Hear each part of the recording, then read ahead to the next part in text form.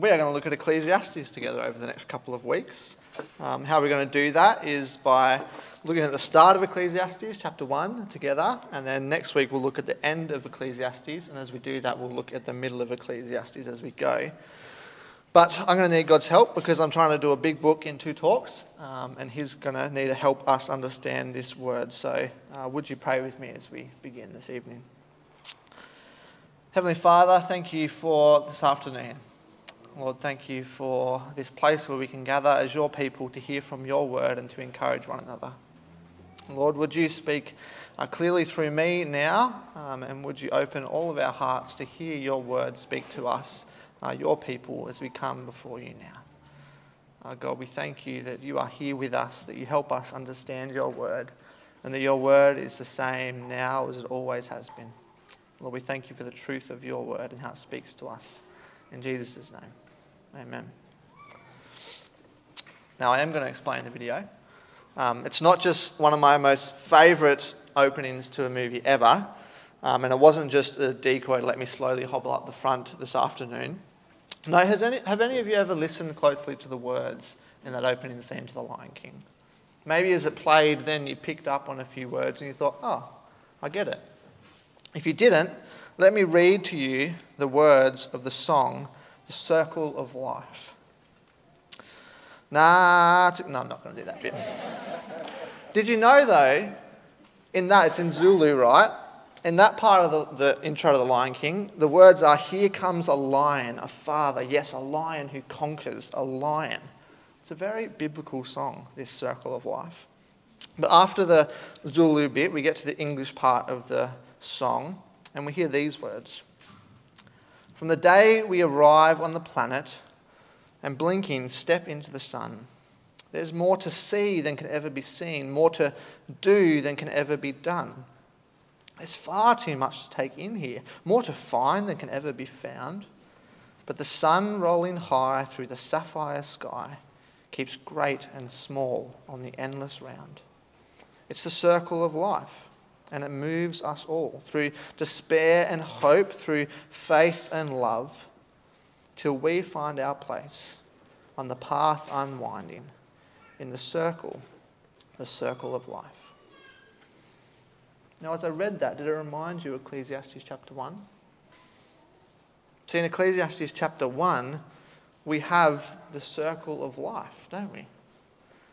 It's full of language of, of nature and the world and the way it goes round and round. As, as we read through Ecclesiastes chapter 1, we can almost picture the beginning of the Lion King the sun rising, the streams flowing, the animals skipping. Let me read a few verses for you from Ecclesiastes chapter 1. You've got it there in your handouts. If you look down at verse 4, generations come and generations go, but the earth is there forever.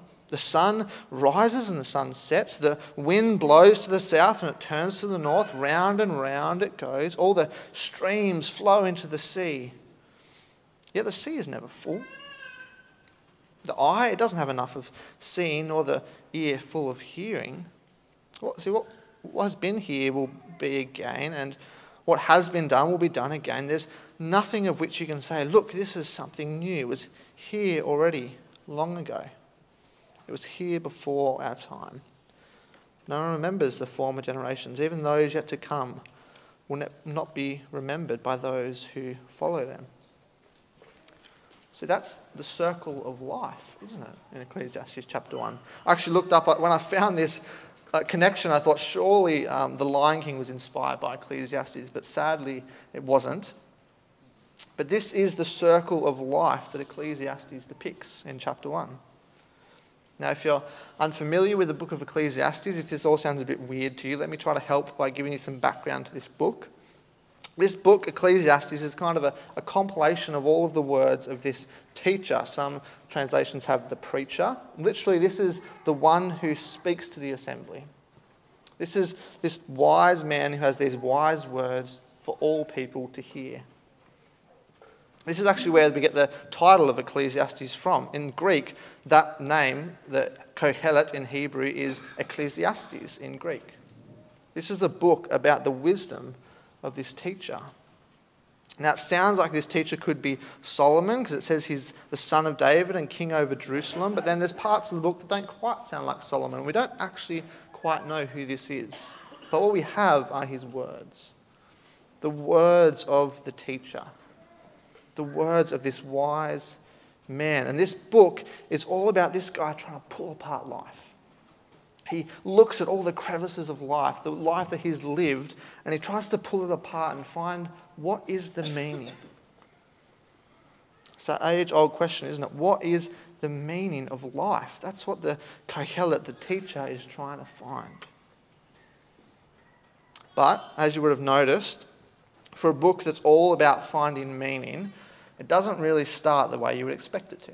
If you look at verse 2, we kind of get the catchphrase of the entire book of Ecclesiastes. If you look there at verse 2, the teacher begins this speech about wisdom and knowledge and meaning by saying these words Meaningless, meaningless, says the teacher. Utterly meaningless. Everything is meaningless. Now, if you went to see a motivational life speaker, and he got up the front and said, meaningless, everything is meaningless. You want your money back, right? That's not what you would expect of a book that's about meaning. But I see, I think part of our issue here is that it's not as dire as it sounds in English. See, Ecclesiastes wasn't written in English, it was written in Hebrew, uh, like we talked about with Kohelet and the meaning of that word. Here, the word is quite hard to capture with just one English word. If you've come across Ecclesiastes before, I'm sure you know where I'm going with this. Other translations have vanity or futility. There's this idea behind this word, and I'm going to give you a visual demonstration. What is the teacher saying? Well, life is mist. Life is vapor. The Hebrew word here, havel, is literally mist or smoke or vapor. So, in the context of Ecclesiastes, what the teacher here is saying is that everything, this, this circle of life that we live in, you see, it's there one minute, but then it seems to disappear. It's, it's temporary, it's, it's short lived in some sense. You can try to kind of grab hold of it and control it, but, but you can't. You can't control this life, he says. It is a real thing. You can see it, I can taste a little bit. You can maybe smell it by now. But it's mysterious. We don't understand this strange circle of life, the teacher says. But we're all in this circle of life. So, how are we going to live in it? As the teacher cries out, meaningless futile or vanity, he's conveying that there's something about this life that just goes round and round and it's temporary and we can't control it. And he's just trying to work out what is going on. Now, if you're still struggling with understanding what's going on here, I've given, I've taken time this week to write a modern version of Ecclesiastes chapter 1. Hopefully, this connects with your heart a little bit more as I read this. What do people gain from all their work under the sun?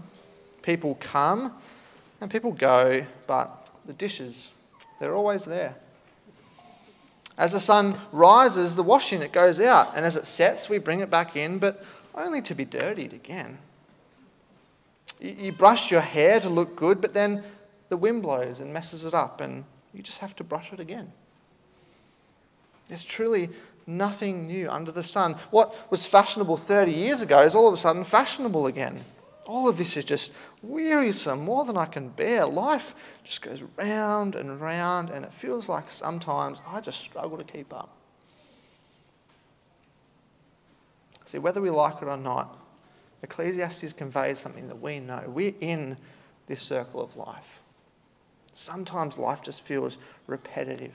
Sometimes we just feel like we're doing the same thing over and over again. And the message of Ecclesiastes depending on your view, is either it's depressing, it's unmotivating, and it's just stupid, or it's a little bit refreshing and kind of relieving in a way, and true.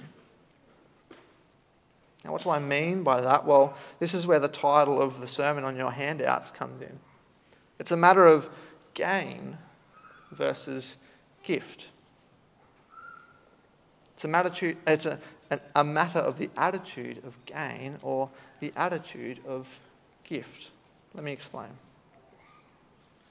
So, if you have an attitude of gain towards life, if you view your life as an opportunity to gain things for yourself, what Ecclesiastes says is you are going to be bitterly disappointed. Look at what the teacher says in verse 3 of Ecclesiastes 1. What do people gain from all their labours of which they toil under the sun? What do people gain? Is there anything really to gain? And as we read on in Ecclesiastes, he keeps making the same point. In chapter 2, we learn that this teacher, he pursued gain to the end of itself, of himself. He built a massive house. He had all these slaves that worked for him. He owned great flocks and herds. He amassed silver and gold. He had all the women he could want. In verse 10 of chapter 2, if you have a Bible there, you can look there with me. He says, I denied myself nothing my eyes desired. I refused my heart no pleasure. My heart took delight in all of my labours, and this was the reward for my toil. But then in verse 11, he says, Yet when I surveyed all that my hands had done and what I had toiled to achieve, everything was meaningless, a chasing after the wind. Nothing was gained under the sun. So the teacher says this mentality of trying to gain things in life, it's going to get you nowhere. He says it's like you're trying to chase after the wind. I had this friend at college who taught us a game. I encourage you to play this game if you would like to, if you like yearly kind of games that come around every year. This is a great one. Every autumn, when the leaves start to fall, you just have to catch one leaf. Now that might sound easy until you give it a go. So one uh, trip up to Armidale, I was there with some friends. Uh, one of the friends is here tonight. And we decided, hey, let's play this game. Armidale is a beautiful place. It was autumn, all the leaves were falling. We thought, let's give it a crack. Let's catch a leaf, everyone. There was about 10 of us probably in a group. And man, it was ridiculous. As you're going to catch the leaves, you think you've got them, and the wind blows them, and you kind of stumble, and you dive in, and you're slipping over. I think Katie actually slipped over and grazed herself at one point in that game. She's nodding up the back. It was a ridiculous game to play, but it was fun. But I thought to myself, imagine if you were just walking down the street and you looked over to the park and saw 10, 20, 30 year old people just running around and you had no idea what they were doing. It would look ridiculous. Now imagine the same scene but in the middle of springtime. There's no leaves falling. It's just a bunch of 20 something year olds, weird kids from Bible college, just running around trying to catch the wind. It's a ridiculous picture. And that's what the teacher in Ecclesiastes says. It's ridiculous to pursue gain. Because if you chase gain, it's like you're just chasing after mist. You can't grab it. It's just going to leave you empty handed, the teacher says. But see, sadly, as people, and I include myself in this, I'm a person. We always fall into the habit of this, don't we? Chasing after gain. We spend our lives with that mentality of if I just had a little bit more, if I just had a little bit more money, then I could finally get the things that would make me feel content. If I just had a little bit more success in my, in my job, then I'd feel finally satisfied with my work. If I just had a slightly bigger house, then you know me and my family we could be finally comfortable Maybe it's travel. Maybe it's if I see another place. Maybe it's more security. Maybe it's more pleasures. We always want just a little bit more. We can turn things that are good in and of themselves into idols that we just chase like chasing the wind. We never catch them. And eventually we lose our contentment and we need more. As soon as we finally think we've got the thing that we once longed for, we just instantly realize no, we don't have quite enough and we want just a little bit more. In the words of Ecclesiastes chapter 1 our eyes never have enough of seeing, nor our ears of hearing, do they? We just always want a little bit more. Never truly satisfied, Ecclesiastes says. So, if this is the problem that the teacher teaches us about life in Ecclesiastes, well, then does he give us a solution? For the most part of Ecclesiastes, it feels like a pretty dire situation for humankind, but there are little glimpses of hope in Ecclesiastes. One of them comes in chapter 5. If you've got a Bible again, you can turn there with me. In chapter 5, at the end of the chapter, he's just gone through and talked about how riches, they're meaningless too. Run, chasing after money, meaningless. Chasing after the wind. And at the end of chapter 5, in verse 18, he says this This is what I have observed to be good that it is appropriate for a person to eat, to drink, and to find satisfaction in their toilsome labour under the sun during the few days of life God has given them. For this is their lot.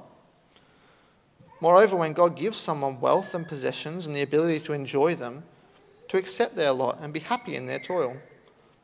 This is a gift of God. They seldom reflect on the days of their life because God keeps them occupied with gladness of heart. See, what's the solution? Well, it's, it's gift. It's viewing life as a gift. Here is my one sentence summary of Ecclesiastes. If you're taking notes or if you're remembering today, this is the one thing I want you to remember. What does Ecclesiastes teach us? It teaches us to stop living our lives for gain and to instead enjoy our lives as a gift. Stop living your life for gain, the teacher says. Instead, just enjoy your life as a gift. Did you notice all of the gift sort of language that were in those verses? Look back at them with me.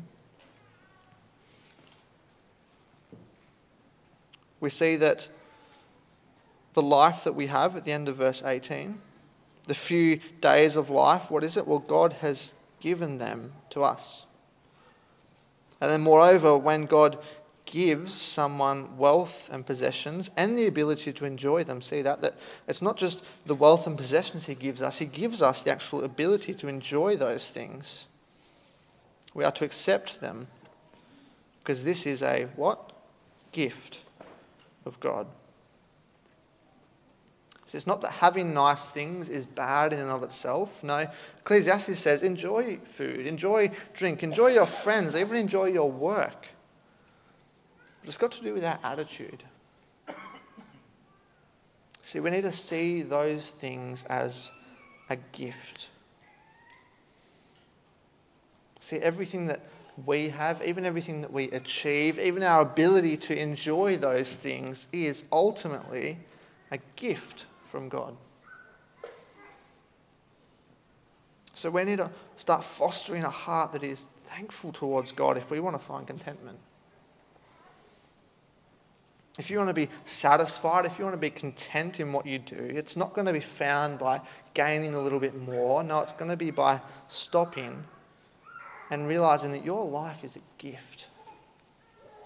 Everything that you have is a gift from God. What's an example of this? Well, here, let me give you a completely hypothetical scenario. Say you're 27 year old pastor from Lake Cat and you've just had your first child. But you're also trying to build a pizza oven in the backyard and your parents arrive in about a week's time and you really, really, really want to finish it. And just as you get into the backyard and you finally get all your tools out of storage and you, you're ready to start getting cracking on this pizza oven, your wife comes out and she's looking a little bit tired. She's got your baby in her arms and she just says, Can you just take her for a little bit? I'm just tired and need some rest. In that moment, this hypothetical person could do one of two things.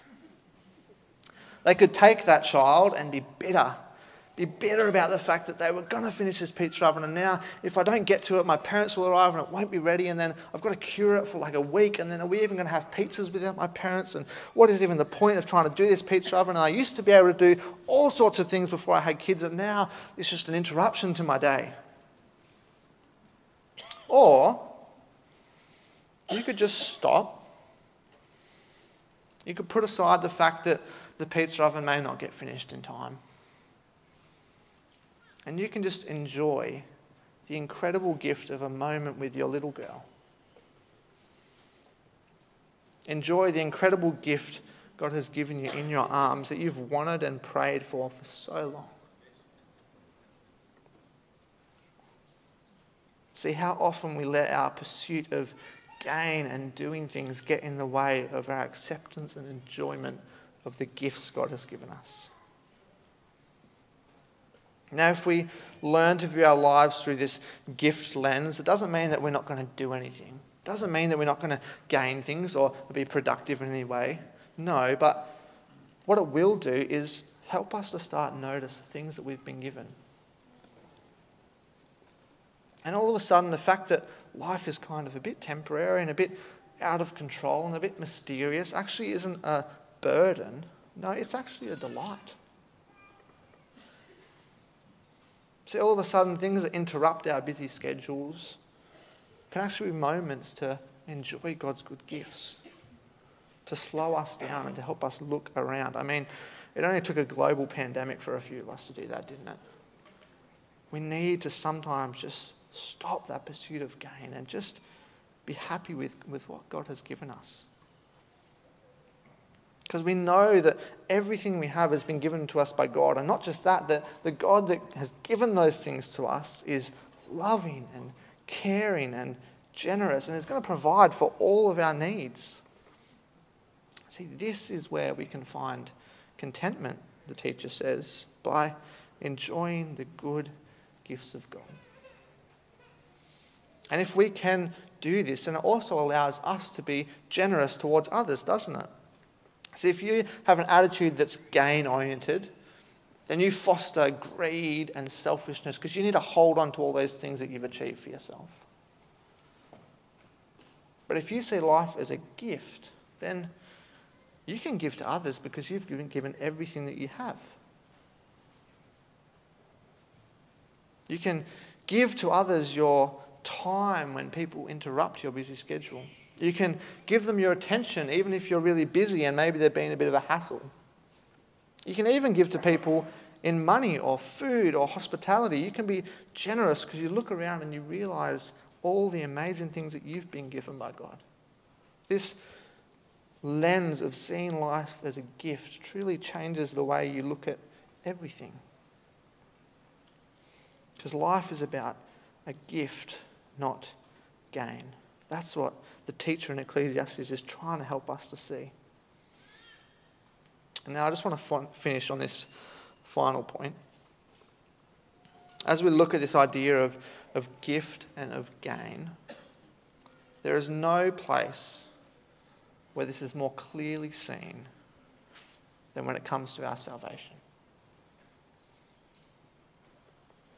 See, if what the teacher in Ecclesiastes is saying is true about our lives and our experience and the circle of life that we're a part of, then it should come as no surprise to us that when God made a plan to save us from death and to give us new life, it came in the form of a gift, didn't it? See, Jesus' life was given to us from God. Jesus is the greatest gift that we have ever received. That's why we hand out gifts on Christmas Day when he was born. And the forgiveness that Jesus offers you can't be gained by impressive achievement or good behavior. No, it can only be accepted as a gift. Because life is about gifts, not gain. So if you believe that Jesus is a gift and you've accepted that gift, then don't take that gift for granted. Don't accept the gift of God's grace and then try to earn it yourself. Be thankful stop, take a moment, and be thankful. Be thankful for the life that you've been given, and be thankful for Jesus' life that was given for you. And be generous. Share that gift with others. Share your life with others. Share Jesus' life with others. And if you haven't accepted that gift, if you've never thought of your life as a gift from God, if you've never accepted the free gift of God's forgiveness, then today you have an opportunity. You have an opportunity to find a level of satisfaction and contentment that you will never find anywhere else.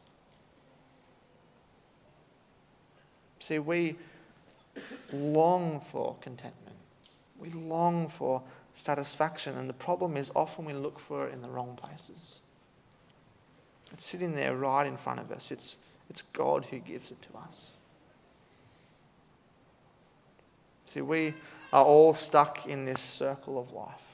This life that just sometimes feels like it's going round and round and going nowhere. But in Jesus, we know where this life is going. We have the hope of life not just now, but eternally in Him. So as we live in this life now that feels a bit chaotic at times, a bit repetitive, what attitude are you going to live with? Are you going to keep pursuing after gain? Because Ecclesiastes says you're only going to be disappointed. Or you're going to see your life as a gift? a gift from God, and you're going to give thanks to the one who gave it to you. How about we pray and we thank our wonderful God for the wonderful gift of life He's given us? Would you pray with me? Heavenly Father, thank you for this life. Lord, thank you for the sun that rises every day Thank you for the extra hour of light we have now in daylight savings to enjoy in the afternoon. God, thank you for the beautiful trees that are wonderful to look at, but not only that, give us air to breathe, oxygen to survive on. God, you have surrounded us with your good gifts. Would you help us today to, to see your gifts afresh, to put aside our own pursuit of gain and to live and enjoy the goodness of who you are and what you've given us. And God, ultimately, would you help us to be thankful? Thankful to you for our lives, but ultimately, Lord, thankful for the life of Jesus. Thank you that you gave him for us so that we can be brought back into relationship with you. Help us to live out that relationship today, Lord, not as if we've gained it through anything we've done but as the wonderful gift that it is to be in your presence and to be your child. We just pray this all in Jesus' awesome and wonderful name. Amen.